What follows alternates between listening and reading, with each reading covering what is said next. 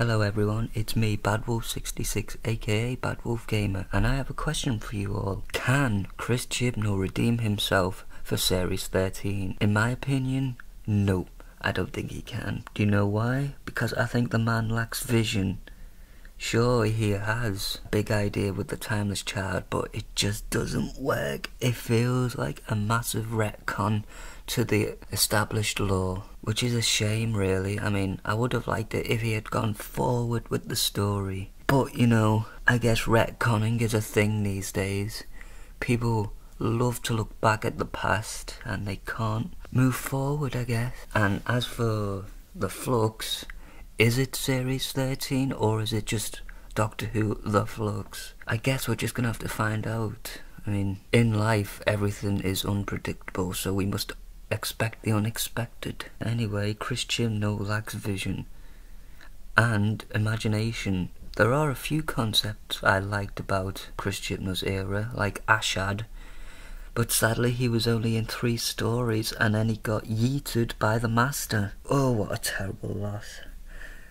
I mean, Ashad would have made a great character. He could have been the Davros of the Cybermen. But nope.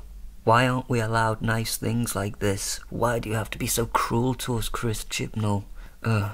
I mean, he could come back in another form, we never know. And the Cybermasters is an interesting concept, but, uh, I would have preferred it if they were called Cyberlords, because Time Lord, Cyberman, Cyberlord, you know. And yeah, Gallifrey's destroyed again, but you know, um, I suppose it makes up for when Steven Moffat saved it, which I didn't particularly like. I liked it when Gallifrey was destroyed and the story could move forward. It's like Moffat took one step back and put it in a whole bubble universe. So yeah, Chris Chibnall's writing is rather generic you could say. It feels more like a crime drama than an actual sci-fi show. Stuff happens, then some more stuff happens, and the character's like, Duh, I don't know what to do.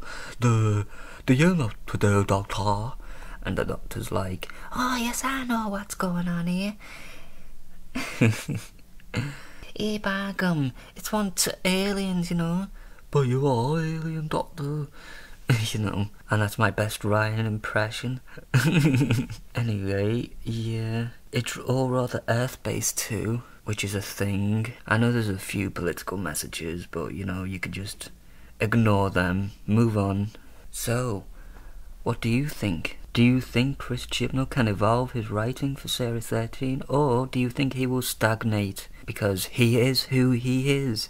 A crime drama writer type person. Comment down below, subscribe, like and share. I am BadWolf66 aka BadWolf Gamer and I'd like to thank you all for listening slash watching. Goodbye everyone.